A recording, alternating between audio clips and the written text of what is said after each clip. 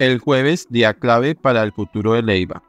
La sala disciplinaria de juzgamiento de la Procuraduría General fijó el inicio del juicio verbal en su contra por las presuntas irregularidades. Volverá. Una vez asumió la semana pasada como canciller encargado el hoy embajador de Colombia en Estados Unidos, Luis Gilberto Murillo, en la mayoría de los corrillos políticos se considera que el alto funcionario se quedará de forma definitiva en el cargo, sobre todo porque hay una alta posibilidad de que el suspendido Álvaro Leiva, que el próximo jueves será sometido a juicio disciplinario, termine siendo sancionado por la Procuraduría. De allí que se empiecen a barajar nombres para reemplazar a Murillo ante la Casa Blanca.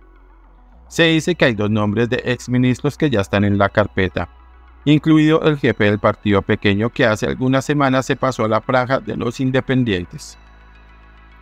El jueves, día clave, la suerte del suspendido canciller Leiva se empezará a definir el próximo jueves, ya que para ese día la sala disciplinaria de juzgamiento en la Procuraduría General fijó el inicio del juicio verbal en su contra por las presuntas irregularidades que se presentaron en la licitación de pasaportes.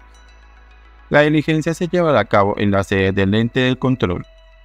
Ese día el canciller suspendido tendrá la oportunidad de hacer los descargos que considere necesarios y presentar las pruebas que considere para tratar de desvirtuar las dos faltas disciplinarias endilgadas, calificadas de manera provisional como gravísimas cometidas a título de dolo. Impacto Verde 1.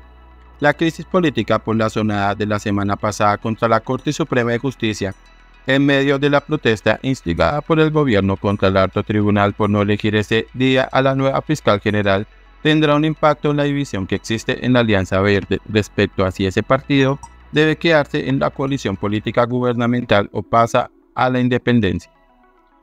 Impacto Verde 2. No podemos negar que lo ocurrido afecta a las gestiones que vienen realizando parlamentarios y dirigentes verdes que son claramente petristas para que el partido no se salga de la coalición oficialista. El hostigamiento a la Corte, más allá de que haya sido una turba o cinco pelagatos, es grave puso al gobierno en el ojo del huracán a nivel interno y externo.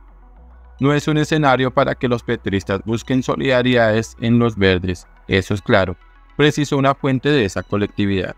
Sin descanso. Algunos parlamentarios alcanzaron a pensar que en el Senado y la Cámara de Representantes deberían empezar a trabajar en forma el lunes 19 de febrero y no el próximo 16, ya que es viernes y cierre de semana. Sin embargo, las directivas de ambas corporaciones legislativas respondieron que no pueden perderse un solo día en medio de una agenda de proyectos cruciales y debates de control político tan amplio.